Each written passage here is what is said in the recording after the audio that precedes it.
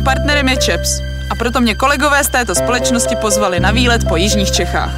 No a protože Tomáš má špatnou kyčel, tak pojede na elektrokole. No no, já si myslím, že bych ti dal kdykoliv, kdekoliv i bez elektropolu. No tak jedem.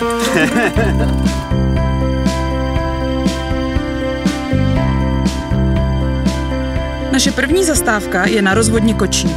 Ta byla uvedena do provozu v roce 1995 a je významným uzlem přenosové soustavy. Zajišťuje například vyvedení výkonu elektrárny Temelín. Teď jsme v technickém dohledovém centru. Dispečeři ČEPS zajišťují udržování rovnováhy mezi výrobou a spotřebou elektrické energie. A to každý okamžik. 365 dní v roce, 7 dní v týdnu, 24 hodin denně. A pak už jsme se vydali na hlubokou. Věděli jste, že ČEPS se stará o více než 5700 km vedení velmi vysokého a zvláště vysokého napětí? Do rozvoje přenosové soustavy investuje víc než 5 miliard ročně. ČEPS zajišťuje bezpečné dodávky elektrické energie a přenáší energii tam, kde je potřeba. A teď ji potřebuje Tomáš. A, vteřinu. Výborná energie, prosím. Nic nepotřebuješ a máš to zadarmo.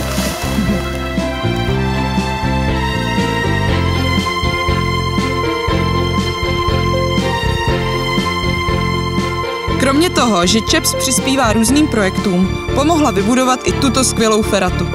Tak jdeme na to!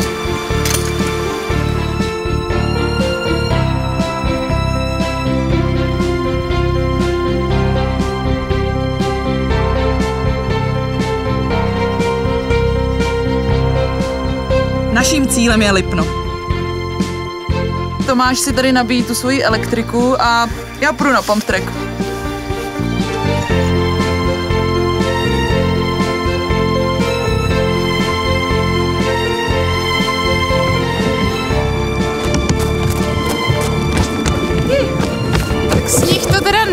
Ale je to zábava. Já to mám strašně ráda a prostě na léto ideální. Chips mě dodává energii už od začátku mé sportovní kariéry. Přenáší energii tam, kde je potřeba.